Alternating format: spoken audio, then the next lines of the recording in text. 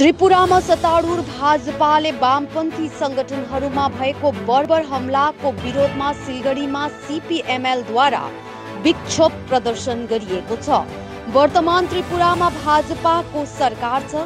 यसअघि त्यहाँ वामपन्थी सरकार थियो। वर्तमान बिजेपी पार्टी कार्यकर्ताहरूद्वारा विपक्षी पार्टी पार्टीमाथि आक्रमण भइरहेको आरोप छ।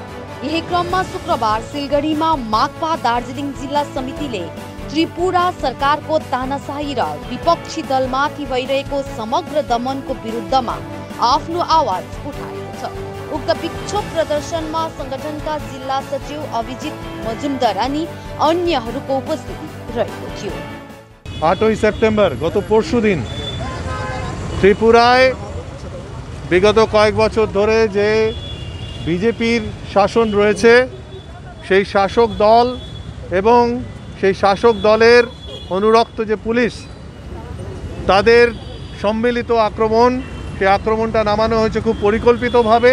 কোনো প্ররোচনা ছাড়াই বামপন্থীদের পার্টি অফিসগুলো সিপিএমের পার্টি অফিস, সেটা আগরতলা, রাজধানী আগরতলায় উদয়পুরে, বিশালগড়ে, আমাদের পার্টি অফিস সিপিআইএমএল লিবারেশনের পার্টি অফিস উদয়পুরে, সেখানে গভীর রাত্রে আক্রমণ নামিয়ে পার্টি অফিসে অগ্নিসংযোগ করা হয়।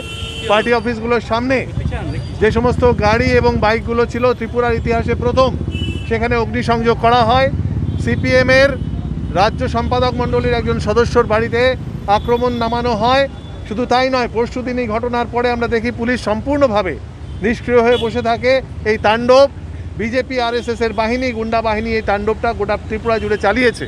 তার কারণ, আগামী দু হাজার বাইশ সালের শুরুতেই ত্রিপুরায় আবার রাজ্য নির্বাচন, বিধানসভা নির্বাচন রয়েছে। সেই নির্বাচনটাকে তারা ভয় পাচ্ছেন যে তারা ক্ষমতায় থাকতে পারবেন না। সেই জায়গা থেকে বেছে বেছে প্রধান যে বিরোধী শক্তি বামপন্থা, বামপন্থী যা মানুষরা রয়েছেন ত্রিপুরাতে, তাদের উপর আক্রমণ নামানো হয়েছে। শুধু তাই নয়, গতকাল গতকাল সেখানে সিআইটিউ, শ্রমিক সংগঠন, সেই অফিসে আবার অগ্নিসংযোগ করা হয়েছে, হামলা চালানো হয়েছে। এবং শুধু তাই নয়, আপনারা সংবাদ মাধ্যম, বৈদ্যুতিন মাধ্যম, পিবি টোয়েন্টি ফোর, যেটা খুব পপুলার একটা গণমাধ্যম সেখানে ত্রিপুরাতে এবং সেখানে প্রতিবাদী কলম বলে যে পত্রিকা রয়েছে, তাদের পার্টি অফিসে হামলা করা হয়েছে, অগ্নিসংযোগ করা হয়েছে। শুধুমাত্র বামপন্থীরা নয়, যে মানুষরা গণতান্ত্রিক পদ্ধতিতে মানুষের কাছে খবর পৌঁছে দিতে চাইছেন, অক্লান্ত পরিশ্রম করেন, যে সমস্ত সংবাদ মাধ্যমের কর্মীরা তাদের অফিসে হামলা চালানো হচ্ছে। সার্বিকভাবে আমরা মনে করি এটা একটা ফ্যাসিস্ট আক্রমণ সমস্ত রকম গণতন্ত্রের পরিকাঠামোটাকে ধ্বংস করার জন্য এরা এই ব্যবস্থাটা নিয়েছে এবং খুব পরিকল্পিতভাবে নিয়েছে। ইতিমধ্যেই ত্রিপুরার বামপন্থী মানুষেরা এবং বামপন্থী দলগুলো একত্রিতভাবে এবং আলাদা আলাদাভাবে এর প্রতিবাদে নেমেছেন।